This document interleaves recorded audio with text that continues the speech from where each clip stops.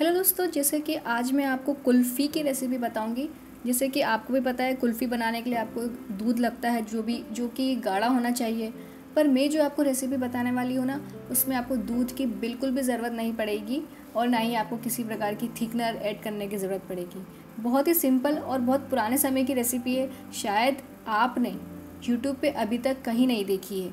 और ये रेसिपी सिर्फ़ आपको दो ही चीज़ें लगेगी इस रेसिपी को बनाने के लिए। भाई, यानी कि इस कुल्फ़ी को बनाने के लिए आपको सिर्फ़ दो ही चीज़ों की ज़रूरत पड़ेगी और वो कुल्फ़ी का स्वाद एकदम पुराने समय के जैसा है। आप जैसे खाते होंगे मटका कुल्फ़ी, जो मटके में एक सांचा आता है लोहे का, उसमें जो सेट करते हैं ना, बस वैसा ही वैसा आपको टेस्ट मिलेगा। बस ये बात ये है कि आप इसे घर पे बना सकते हो और वो भी कोई आपको ज़्यादा चीज़ों की ज़रूरत नहीं पड़ेगी, सिर्फ़ आप स्टील के गिलास में आप इसे जमा सकते हो। किसी प्रकार के सांचे की ज़रूरत नहीं पड़ेगी जिसमें आपको कुल्फ़ी को सेट करना रहता है। कोई सांचे की ज़रूरत नहीं पड़ेगी, सिर्फ़ आपको साधारण सा आपको स्टील का गिलास लेना है, उसमें मैं आपको बता दूँगी। तो आइए इस रेसिपी को देख लेते हैं, इसे कैसे बनाते हैं। जिससे कि ये आइसक्रीम है बिना दूध और बिना शक्कर, यानी कि बिना चीनी वाली आइसक्रीम अगर आप चैनल पर नए आए हैं ना तो चैनल को सब्सक्राइब ज़रूर कीजिए। मैं इसी प्रकार की आपके साथ रेसिपी शेयर करती रहूँगी और आपको कुछ इन्फॉर्मेशन देती रहूँगी जो आम हम सभी को ज़रूर काम आए। और ये रेसिपी पसंद आए तो इसके बारे में कमेंट्स में ज़रूर शेयर कीजिएगा अपने विचार। और ये रेसिपी पसंद आए तो लाइक ज़रूर करना। जैसे कि मैंने आपको बताया था, इसमें आपको सिर्फ़ दो ही इंग्रेडिएंट लगेंगे। तो उसमें पहला तो आपको लेना है पानी, आधा कप पानी लेना है। आप इसकी जगह दूध ले सकते हो, पर मैंने जैसा आपको बताया बिना दूध से बनाना है। तो मैं आपको इसलिए पानी की बता रही हूँ। और इसमें आपको लेना है मिल्क पाउडर। वैसे आप कोई सा भी कंपनी का ले सकते हैं, पर ज़्यादातर ये आसानी से मिल जाता है सभी के घर पे, आसपास की दुकानों पे। तो मैं आपको इसलिए ये बता रही हूँ। वैसे आपको जो मिले, वो आप ले लेना।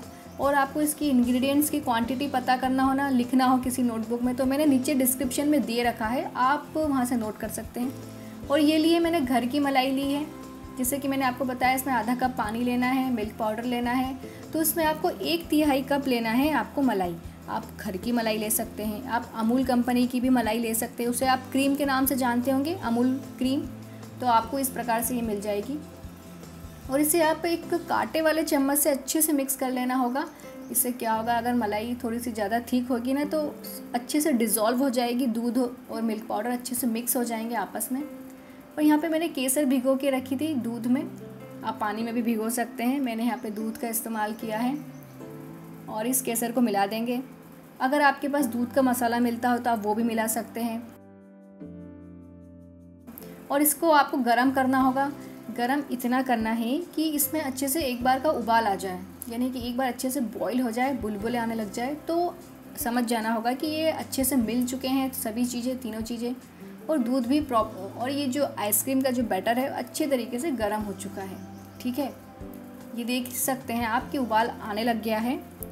और इसमें आप कोई और सा फ्लेवर ऐड करना चाहते हो, जैसे chocolate powder white chocolate powder strawberry का फ्लेवर जो भी फ्लेवर आपको पसंद है ना तो केसर की जगह आप उसको मिला लेना। मैं यहाँ आपको क्लासिक आइसक्रीम या कुल्फ़ी की रेसिपी बता रही हूँ। वैसे इसको आप आइसक्रीम तो नहीं कह सकते, इसे कुल्फ़ी कहेंगे अपन। तो ये दूध अच्छे से बॉयल हो चुका है और इसे मैंने गैस से हटा लिया है। और इसमें मैं कुछ काजू बादाम पिस्ते मिला रही हूँ और ये मैंने लिया है वनीला एसेंस। जैसे मैंने आपको बताया, आप अपने स्वाद के हिसाब से फ्लेवर मिला सकते हैं। स्ट्रॉबेरी का फ्लेवर हो गया, चॉकलेट का फ्लेवर हो गया है। कोई सा भी फ्लेवर ले सकते हो जो आपको पसंद हो। ये कुल्फ़ी है, जो आप मटका कुल्फ़ी खाते हो, उसमें काजू बादाम पिस्ता मिला हुआ रहता है। तो इसलिए मैं आपको वही तरीका बता रही हूँ। जैसे आपके स्वाद पर डिपेंड करता है कि आपको कौन सा फ्लेवर पसंद है। चॉकलेट फ्लेवर हो तो चॉकलेट मिला लेना, इसमें स्ट्रॉबेरी मिला लेना, खस भी मिला सकते हो जो आप गर्मियों में जो खस की जो शरबत मिलती है, आप वो भी ले सकते हो। रू अफ़ज़ा भी मिला सकते हो, केसर की जगह। तो इस प्रकार से आप फ्लेवर बना सकते हो कुल्फ़ी को। ये अच्छे से, तीनों चीज़ें, सब चीज़ें अच्छे से मिक्स हो चुकी। अब आपको मैं दो कंटेनर बता रही हूँ, एक स्टील का ग्लास लिया है और एक एयर टाइट कंटेनर लिया है। इन दोनों में आप आराम से कुल्फ़ी सेट कर सकते हो। इससे मार्केट में बहुत सारे सांचे मिलते हैं। आपको सांचे खरीदने की ज़रूरत नहीं है, खर्चा करने की ज़रूरत नहीं है। आप इनमें आसानी से जमा सकते हो। बहुत बढ़िया तरीके से जमती है। दोनों कंटेनर को आपको क्या करना होगा? थोड़ी देर के लिए फ्रीज़र में रखना होगा। आप देख सकते हैं कि मैंने दोनों कंटेनर को फ्रीज़र में रखा था। यहाँ पे मैंने छोटा सा क्यूट सा ग्लास लिया स्टील का। अगर आपको चाहिए तो मैंने इसकी लिंक नीचे डिस्क्रिप्शन में दे रखी है। ये एल्यूमिनियम फॉइल ले रखा है। इसे इससे कवर कर देंगे। इससे क्या होगा, जैसे आप घर पे आइसक्रीम बनाते हैं तो जो बर्फ़ आती है ना, वो नहीं आएगी। मतलब जो आइसक्रीम जो कुल्फ़ी सेट हो जाने के बाद जो बर्फ़ जैसा बनती, बन जाती है सेट हो जाती है, वो नहीं होगा। बिल्कुल एकदम मलाईदार कुल्फ़ी लगेगी आपको ये। अगर आप ये एल्यूमिनियम फॉइल लगा लेते हैं और इसे रबर बैंड से पेक कर देंगे ताकि ये अलग ना होए। ये अच्छे से मैंने इसको पैक कर दिया है स्टील के ग्लास को। इसी प्रकार से आप और भी ग्लास में सेट कर सकते हैं। मैं आपको एग्ज़ाम्पल के तौर पे एक बता रही हूँ, क्योंकि अभी मैंने बहुत कम मात्रा में आइसक्रीम बनाई है। और इसे चाकू से इस प्रकार का मार्क लगा लेना, ताकि हम इजीली इस पर ये जो स्टिक है आइसक्रीम की, वो हम अच्छे से इस पर लगा सकें। ये देख सकते हैं आप। अच्छे से बन चुकी है। और ये जो एयर टाइट कंटेनर है ना तो इसमें भी आपको एल्यूमिनियम फॉइल लगाना है। आपको इसके ऊपर वो एयर टाइट का ढक्कन नहीं लगाना है, सिर्फ़ इतना ही काफ़ी है एल्यूमिनियम फॉइल लगा लेंगे। तो उसमें भी बहुत बढ़िया तरीके से कुल्फ़ी सेट हो जाएगी। वैसे आप देखते होंगे कि मटका कुल्फ़ी रहती है, वो कोई एयर टाइट कंटेनर में नहीं जमाते हैं। उनके पास लोहे का जो डब्बा रहता है ना, उसमें वो सेट करते हैं और उसमें भी आप देखते होंगे कितनी बढ़िया लगती है। इसे मैंने चार पाँच घंटे के लिए फ्रीज़र में रखा है और आप देख सकते हैं कि कितनी बढ़िया तरीके से दोनों आइसक्रीम सेट हो चुकी है।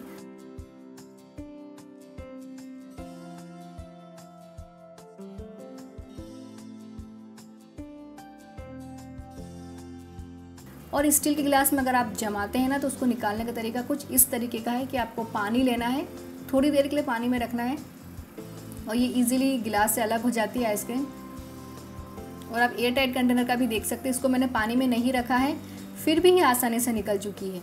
बस थोड़ी देर आपको दो तीन सेकंड के लिए इसको रूम टेम्परेचर पर रखना है तो ये आसानी से निकल जाती है आइसक्रीम अब आप देख सकते हैं कि दोनों आइसक्रीम कितना बढ़िया लग रही है और कितना बढ़िया इनका टेक्सचर आया है। अब आपको बताना होगा कि ये कुल्फ़ी की रेसिपी आपको कैसी लगी। तो इसे आप बनाने में आपको समय भी नहीं लगेगा तो जल्दी से बना लीजिए और नीचे कमेंट्स में ज़रूर मेरे साथ शेयर कर रहिएगा कि आपको ये रेसिपी कैसी लगी और आइसक्रीम का टेस्ट कैसा लगा। और चैनल पर नए हो तो चैनल को सब्सक्राइब करते हुए बेल आइकन को ज़रूर दबाना। इसी प्रकार की रेसिपी जानने के लिए अगले वीडियो में कुछ नई इंटरेस्टिंग बातों के साथ ज़रूर मिलेंगे। तब तक लिए बाय बाय